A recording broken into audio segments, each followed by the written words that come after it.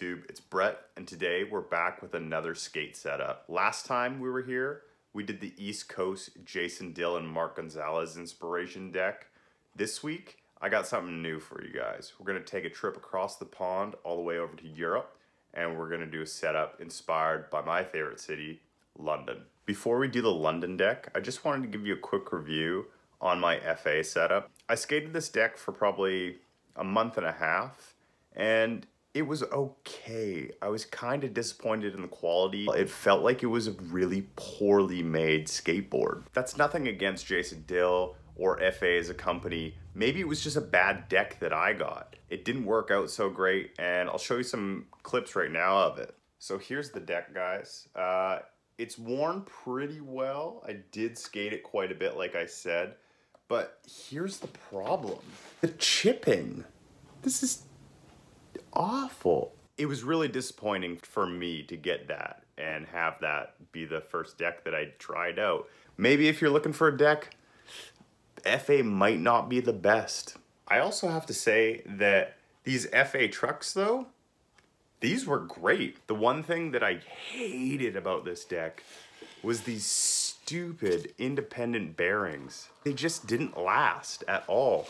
There's one on here that's completely dead. And for a product like that, I don't think that you should die within a month and a half. So I reached out to Independent and they're gonna warranty my bearings, which is really dope and I really appreciate that from them.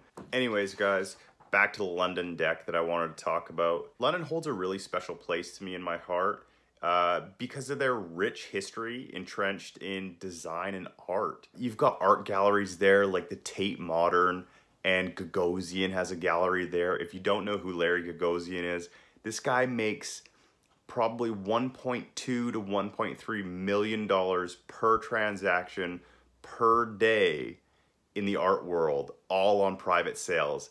He brings in over a billion dollars for his galleries per year. Europe has a big skateboarding culture as well, which is really cool to see. I remember back in the early 2000s and Geoff Rowley had just showed up on the scene and he won Skater of the Year in 2000. Today, London has some of the best streetwear in all of the world, as well as skate brands. Brands like Polar and Palace coming out of Europe and those are major players right now in the skateboarding industry. So the colors and stuff like that that I picked for this deck and this setup specifically all have to do with the new vibrancy that is the Tate Modern. It's got some really beautiful works. If you ever go to Europe, I highly suggest checking out the Tate Modern. But uh, I'm getting really excited to show you guys the deck, so here it is.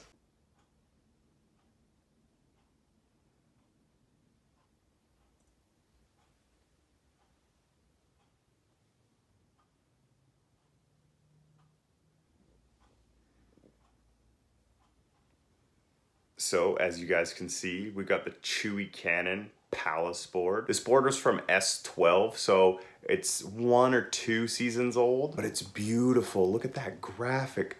They go from the textures to the plants on top. Looks great. And then the Palace triangle with the Chewy logo there. I love the top of this deck though. They really put some time and effort into thinking out the graphics for this. The grip tape's just like standard mob grip tape that I painted. I kind of did like a Jackson Pollock uh, inspiration with the splatter painting. I do a lot of painting myself and splatter is kind of like one of the effects that I use a lot. We're gonna be running some brand new independent trucks on this as well. And then we're just gonna run the same Spitfire wheels that I had. All right guys, so there you have it. That's the London setup. Uh, let's go throw this together really quick and see how it looks.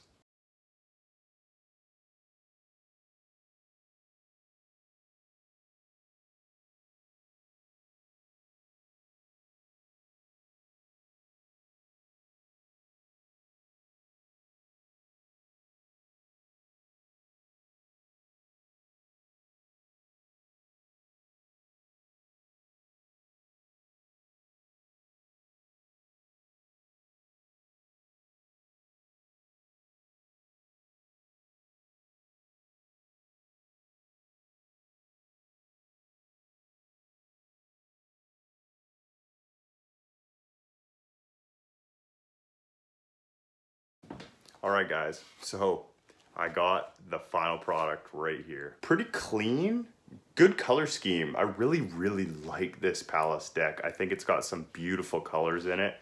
And the grip tape here just adds that super cool art aesthetic that I was going for with the City of London. As always, guys, thanks for watching and make sure you like, comment, and subscribe to see more videos like this. I really enjoy doing them. And if you guys give me some uh, suggestions in the comment box below, maybe I'll pick the city that you're in and we can do a skateboard on that or even a theme in terms of art and design related to skateboarding. Thanks for watching. Much appreciated. Take care.